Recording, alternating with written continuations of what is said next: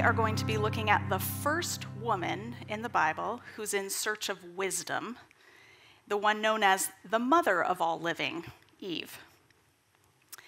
Wisdom is an important concept that the Bible upholds as, as the ideal for human achievement, that, that we would cultivate wisdom. And wisdom answers questions or provides a way of thinking about some of the deepest questions that humans think about. Who am I? And what am I to do in this world? And how am I to do it? Where am I going to find the resources to do the thing that God's called me to do because of who He made me to be? And so this morning, as we as we consider Eve, the first woman who searched for this wisdom, we're going to discover that true wisdom always involves relying on God for answers to these questions. Last week, while you all were doing missions conference, I had an interesting experience. I had to drive all the way across town to a place called, I think, Sherwood Oaks, Sherman Oaks. I can't remember now. It was it was far away. It took me an hour and a half to get there, and it took me two and a half hours to get home in traffic. And I went there on Thursday and Friday. I was re- recording the audio book for my new book that's coming out on being God's image. And because I'd never been there before, obviously, I used a GPS. And a GPS is an amazing invention. I remember back before we had these things, and we had an envelope by our phone, and it had a bunch of papers stuffed into it, which were the scribbles that we made when we were on the phone with someone trying to get instructions to how to get to their place. And we would write them all down, you know, turn left on this street, turn right on that street, whatever. And we'd write them all down, and then we'd take them with us in the car, and we would navigate, and, and then we'd stick them in that envelope so we didn't have to call them again the next time to figure out where to go. I remember that, but now, we have a GPS. And when I got into the car on my way to come home the first uh, evening, Thursday evening, it told me it was going to take two hours and seven minutes to get back to La Mirada, which is a long time. Now, the cool thing about GPSs is that they're tracking not just how to get from point A to point B, but what the current traffic conditions are that tell you how long and what's the best route to take. Now, not having been all the way there and all the way back before, it wouldn't have done me any good to rely on my own sense of direction or on my own intuition about, you know, boy, this freeway's sure crowded. I should just get off at the next exit and see if I can find a shorter route. Surely it would be faster to get back to La Mirada if I just took side streets the whole way. No, the GPS knows the fastest way. It's tracking how fast cars are going, and it will tell me uh, the, the best way. And, if, and several times as I was driving, it would say, you can shave off six minutes if you go this way, six minutes faster, and, you know, accept. And I would click accept, and it would take me off the freeway, and I'd go through some neighborhood, and then I'd get back on again. And I never would have found that by myself. I never would have known which of those exits would save me time and which ones would add to my time. It kept telling me, ooh, this one is six minutes slower.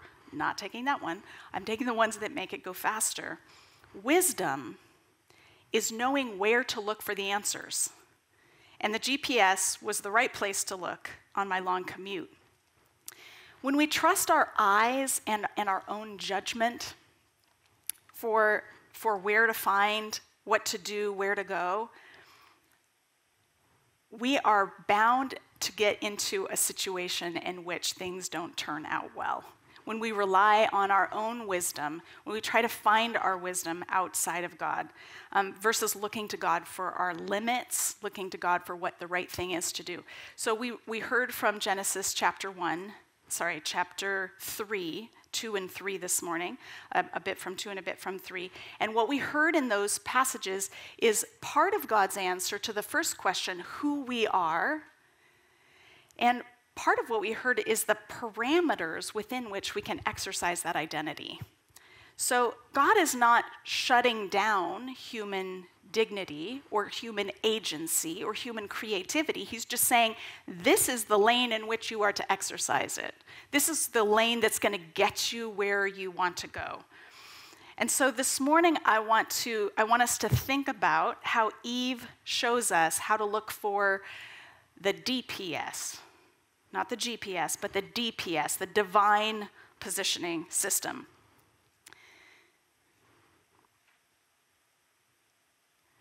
In Genesis 2, we have the creation of a beautiful garden. God plants a garden, He puts Adam in the garden, and there are two trees in the garden that are notable, that are named. There's the tree of life, and there's the tree of the knowledge of good and evil.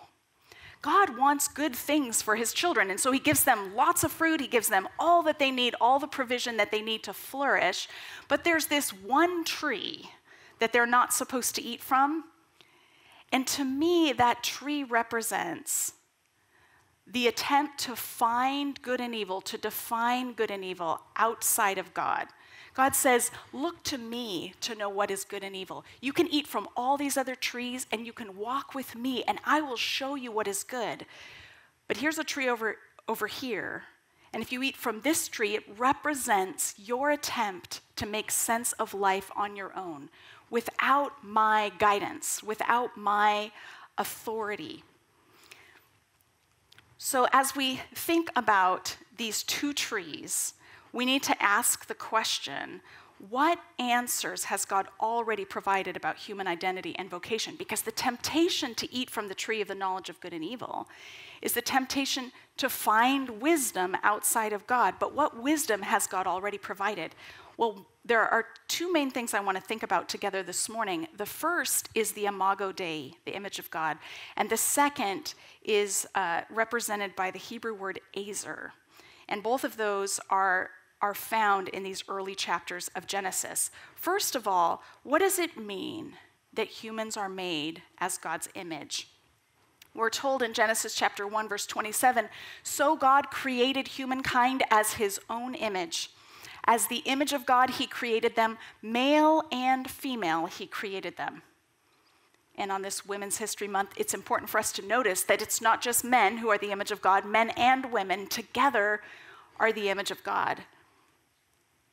And what does it mean to be the image, image, of God? Well, it's our human identity, but it has implications for the job that we do, for the vocation that we fulfill. And so in verse 26, we're told, Let us make humankind as our image, as our likeness, so that they may rule. What does it mean to be God's image? It means to rule as God's representative over the created world. So this is an answer to the question we should be asking about who am I and what is my what am I here to do? Genesis 1 already right off the bat gives us the answer.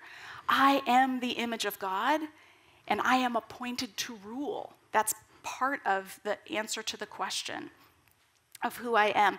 Now, the word image is a slippery one. We think of it in digital ways now. And for many, many centuries, people have talked about the image of God in abstract terms. For example, they say, oh, to be the image of God means we possess greater rationality than the am- animals. We can think better than they can. Or we're more relational. Or we're we, we have a moral compass that animals don't have. And so people have tried to look for what's the difference between humans and animals, and then we'll call that the image of God.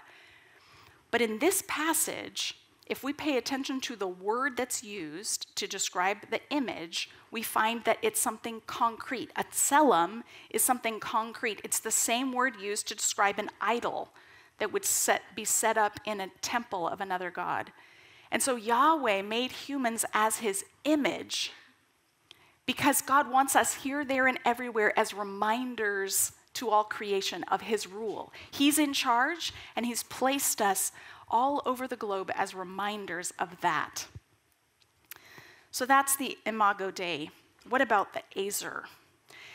Yahweh God said in Genesis 2:18, he's speaking here uh, about Adam's predicament. He says, It's not good for the human to be alone. I will make a helper suitable for him. This is a famous verse because it's the, it's the impetus for creating woman in the second creation account in Genesis chapter 2. And I, I just want to pause here long enough to make a case for what does this word Ezer, translated helper, actually mean. Because the word Ezer is not quite the same thing as the English word helper. When you hear the word helper, maybe you're like me and you picture what a servant does for a master or what an employee does for an employer. They come along and help. It's a subservient role. In English, that's the connotation for some of us.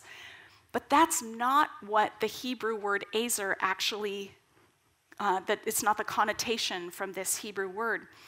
I've looked up all the occurrences of the word ezer in Hebrew, in the Hebrew Bible. There are about 100 occurrences where it's either a noun or a verb form, and they are used consistently in one of two ways. About half the time, an ezer is used to describe God as Israel's helper, or however we want to translate this word, ezer. The other half of the time, the word is used to describe a military ally. So if you're in trouble and another enemy army is bearing down on you, what you need is not somebody to make you sandwiches or to clean up the mess after you you need an ally. You need another military unit to come alongside you and fight in the trenches so that you're not overcome. And that is what an ezer is in the Bible. Not a single time in the entire Old Testament is the word ezer used to describe what a servant does for his master or what, a, what an employee does for an employer. So, as we're looking to Genesis for this answer, about who am I and what am I supposed to do in the world, we discover that God doesn't think that the man can or should do all the work himself. He needs somebody alongside him, somebody who can be an ally corresponding to him. God has already told us that he put the man in the garden to work it and to guard it. There's a, there's a cultivating role for the first man, and there's also a defensive role. Now, you could ask, who, what are they guarding against? Well, any kind of intruder. Well, Dr. Imes, are you saying there are other people who might become intruders? I'm not saying one way or the other. We have one intruder in chapter 3 that I think they should have stopped at the border of the garden or cast out. Just yesterday on Twitter, uh, early in the morning, I, I got up before church, I checked Twitter, and Beth Moore, who is one of my favorite people to follow on Twitter because she's sassy and she's godly and she's just a whole lot of fun, she said, Friends, it's not even 9 a.m., and I have already killed a copperhead. I haven't even laid out my church clothes yet.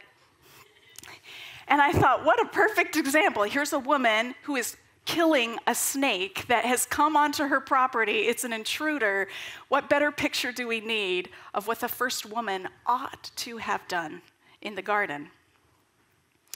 To cultivate it and to guard it.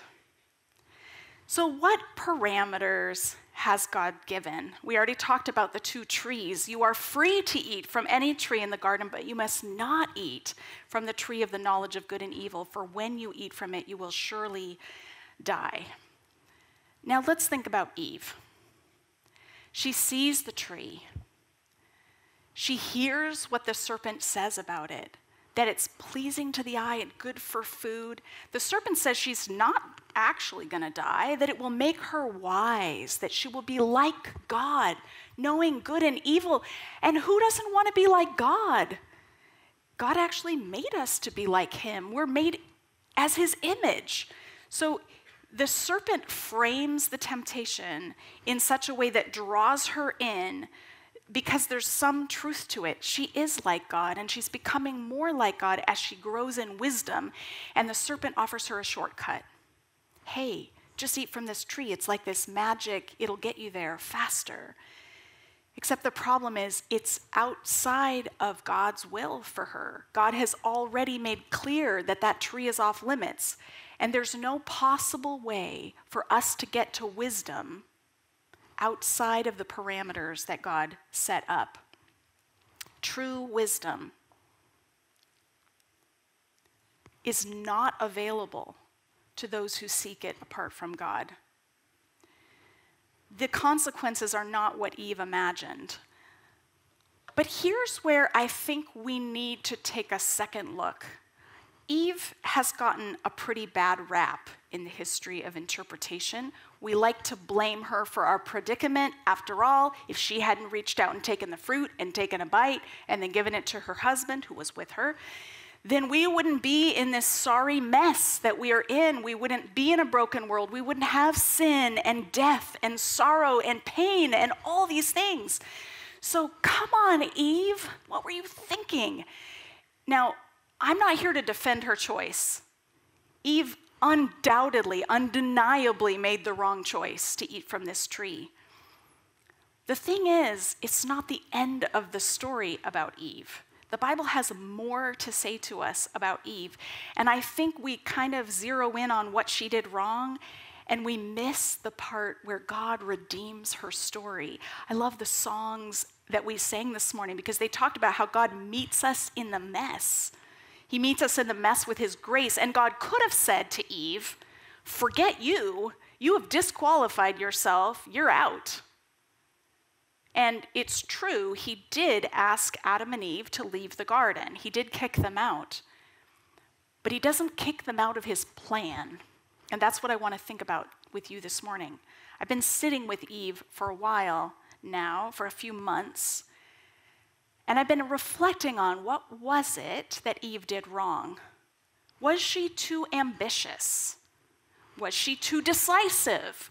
Was she too bossy? Is the whole problem that Eve didn't step back and let the man lead? Is that what this is? If Adam had been leading the way, would we not be in the mess that we're in? So then let's remember what we just talked about who did God make Eve to be?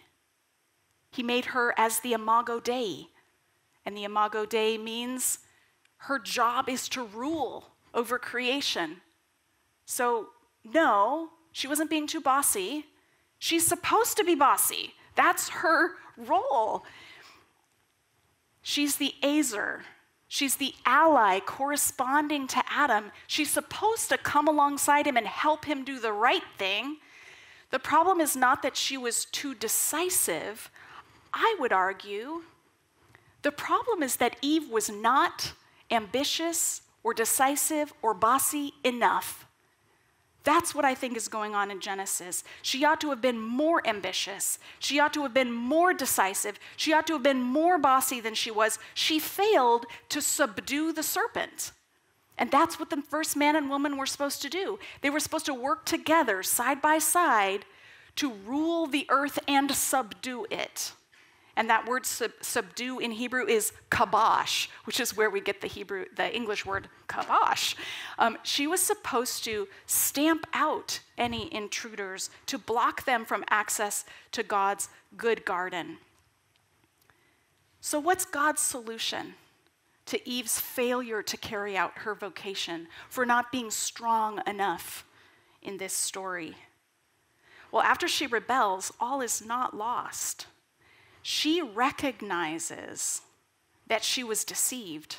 She names the enemy of God. If we know where to look, there is great encouragement in Eve's story. Let's take a look. God announced a solution to the unraveling of his creation purposes through Eve's offspring. We heard the passage earlier. I will put hostility between you and the woman. God is speaking here to the serpent. And between your offspring and hers, he will crush your head and you will strike his heel. God could have said, Eve, you've disqualified yourself. There's no more place for you in my plan. But instead, he takes the very woman who made the wrong choice and he presents her as the vehicle of redemption. It's through Eve that the snake crusher will come. Yes, the consequences of the fall are disastrous for humans. Yes, there will be pain in conception and childbirth. Things are not going to come easy for Adam and Eve. But the, the union, their union and production of offspring is the very means by which God's purposes for creation will be revealed. The enmity between Eve and the serpent, or hostility, is actually a good sign. I, I, I, didn't see that until more recently. I thought, oh, this is bad. Look, now there's hostility. No, there should have been a little bit more hostility at the beginning of chapter three. Eve should have said, shut up. No. How dare you try to tempt me to go outside of God's plan? How dare you suggest that God is holding out on me, that there's something that would actually be good for me that God is saying no to? How dare you question the goodness of God? That's how Eve should have responded. She should have had a whole lot more en- enmity or hostility. And now, as a consequence to the fall, when God confronts Eve and says, What is this you have done? She says, The serpent deceived me, which he did. And I ate, which she did. She owns her sin. And on the basis of that confession, God announces to her, All right, going forward, you are going to hate each other's guts. And that's exactly what she should be feeling and, and doing. She should hate and oppose anyone who's setting themselves up in opposition to the good God who created all things. Should she not? So by the end of chapter 3, Eve has aligned her purposes with God's. The consequences of the fall do not strip Eve of agency, but rather restore it. Yes, things will be difficult, but as the mother of all living, Eve will also mother the one who will finally defeat the serpent. So I want to step back and just briefly consider are there other offspring of Eve who participate in this enmity or hostility? Are there other women in the Bible who get it, who understand they, they need to oppose anything that sets itself up against God? And yes, there are. I've chosen just a few for us to think about together this morning. Just briefly, think about Miriam. Miriam, at probably six years old, takes her stand by the Nile to confront the daughter of Pharaoh as she comes down to the Nile and finds her baby brother. Think about how she's acting in defiance to Pharaoh. Pharaoh, whose symbol of royal authority is a snake, who has a snake right on his headdress. You can look it up after chapel, you can Google it. Most pictures of Pharaoh have a snake on his forehead. And Miriam takes her stand, even at a young age. She understands what this man is asking us to do is not right, it's counter to the goodness of God. And therefore, I must oppose it. And so Miriam participates in brokering deliverance for her people and, and then, after God delivers the people from Egypt, she takes her stand with them by the, by the edge of the Sea of Reeds and celebrates in song God's deliverance, his crushing of his enemy.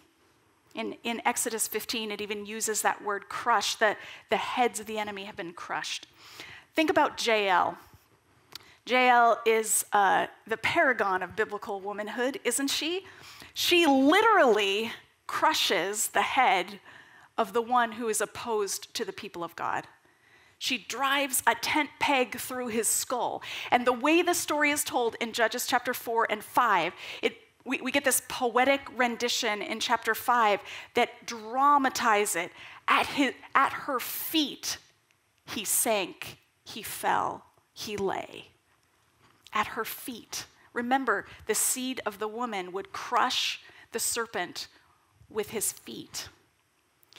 Jael brought victory to God's people because she opposed the one who opposed God. Mary, obviously, the mother of Jesus, says yes to God's will, and she bears the ultimate snake crusher. And as we're coming into Holy Week, we're witnessing the, the result of her faithfulness, of her aligning her purposes with God's. Mary Magdalene meets the risen Lord in a garden. And in the garden, like the first woman, she is commissioned to participate in God's work. And she accepts. She runs with the greatest news in human history to tell the rest of the disciples he's alive. And then there's Romans 16, verse 20, which I never noticed before working on this message. Listen to how Paul says it. The God of peace will soon crush Satan under your feet. We're not just waiting for the ultimate deliverer, Jesus, who will crush Satan. We get to participate in the crushing of Satan. We get to participate by setting ourselves in opposition to anything that opposes God's goodness and God's rule. So, what does it mean for us to exercise wisdom today? We need to recognize our Creator as the one who defines good and evil. We need to live faithfully in line with His commission within His parameters. We need to look to Him as the source of our provision, saying yes to God and no to sin. We need to see the work that needs to get done and get busy doing it because it's our job as the image of God to participate in this, and we need to align our purposes with God's by cultivating hostility against the enemies of God. So here's what I hope you'll take away about Eve. As the mother of all, Eve bears witness to the vital importance of looking to God for wisdom. Because He made us, God alone can tell us who we are and what we were made for. Like Eve, we are God's image, appointed to rule over creation. And like Eve, we are meant to be allies, partners in caring for creation. Like Eve, we are to stand in opposition to anything that calls into question God's good intentions for the world. So, sons of Adam and daughters of Eve, may we together look to our Maker to tell us who we are and to receive wisdom regarding the work He has called us to do in every field, in every area of life thinking, writing, experimenting, caring for creation, inventing things, teaching, stewarding resources, healing, nurturing the next generation, honoring our parents, counseling others, telling stories, writing songs, preaching, fixing, building, cooking, all of it can be done as allies in the good work that God has created us to do. Discover who you're called to be at Biola University, a leading Christ centered university in Los Angeles, with programs on campus and online. Subscribe for more of our videos and learn more at biola.edu.